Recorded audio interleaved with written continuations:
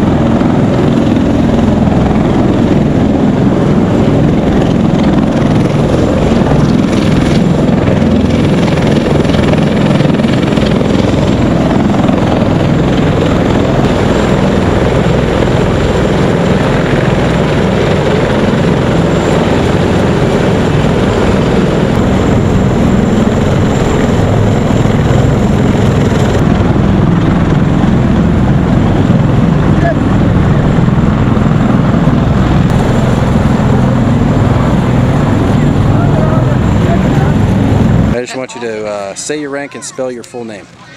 Okay, first lieutenant. M A R I T Z A. First name Maritza, last name Anderson. A N D E R S O N. And you are the, the NEO OIC or commander or Neo uh, OIC. NEO OIC? And what's your regular job title? Uh, I'm a communications officer by trade. CLB 31? COB 31, 31st MEU. Got it. And your hometown? Hometown is Chicago, Illinois. Hell yeah, go Bears. Go Bears. All right. Now, pretty broad on the first one. Let's go with uh, what does this training uh, do for us today?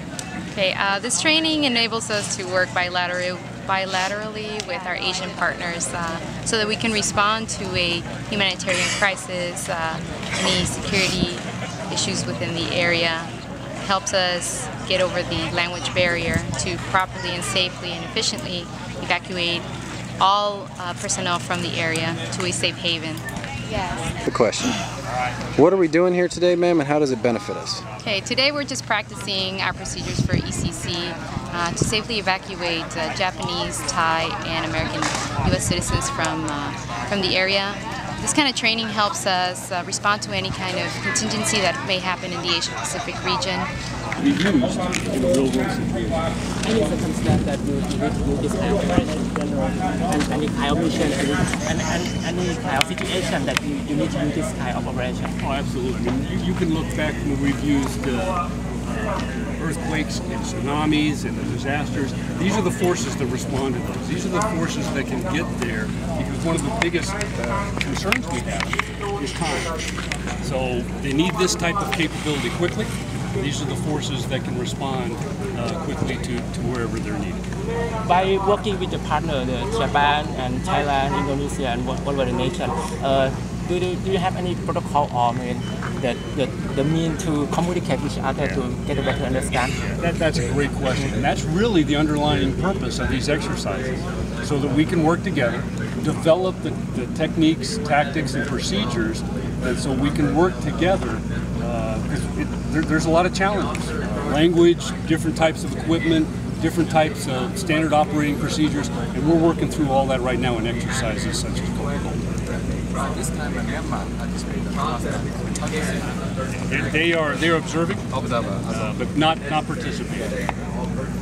How? This time as an observer, actually, they're, they're one of many that come and observe.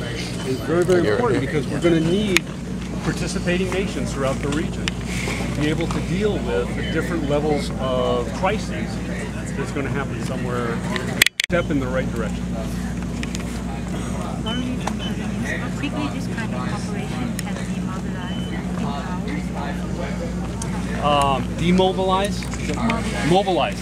Um, depending on again where the, the where the forces are needed and where they come from, it can be as quick as hours. Um, more likely uh, days, but it can be in hours. Absolutely. So you from this cooperation, this is in the reason of the natural gas uh, uh, problem only, or is there any other station can uh, make it into the situation? Absolutely. I mean, the, the type of crisis can be either man-made or it can be, it can be natural. Uh, the thing is that these forces have the flexibility to address whatever the crisis is. be it natural or man-made. So this cooperation, did you certify this that uh, is there any problem for the problem Oh, there's- the there's- coordination between the there, there's definitely challenges.